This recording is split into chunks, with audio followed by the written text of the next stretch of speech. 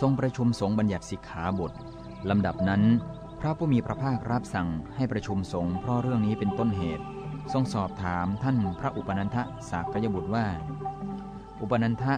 ทราบว่าเธอกล่าวชักชวนภิกษุว่า ท่านจงมาเถิดพวกเราจะไปบิณฑบาตในหมู่บ้าน แล้วไม่ได้ให้ทายกถวายอะไรแก่เธอ แล้วนิมนต์กลับจริงหรือ ท่านพระอุปนันทสากยบุตรทูลรับว่า จริงพระพุทธเจ้าข้า พระผู้มีพระภาคพุทธเจ้าทรงตำหนิว่า โมฆะบุรุษฉนัยเธอจึงกล่าวชักชวนภิกษุว่า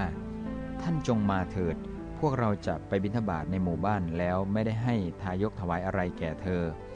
แล้วนิมนต์กลับเล่า โมฆะบุรุษ การกระทำอย่างนี้ไม่ได้ทำคนที่ยังไม่เลื่อมใสให้เลื่อมใส หรือทำคนที่เลื่อมใสอยู่แล้วให้เลื่อมใสยิ่งขึ้นได้เลย แล้วจึงรับสั่งให้ภิกษุทั้งหลาย ยกสิกขาบทนี้ขึ้นแสดงดังนี้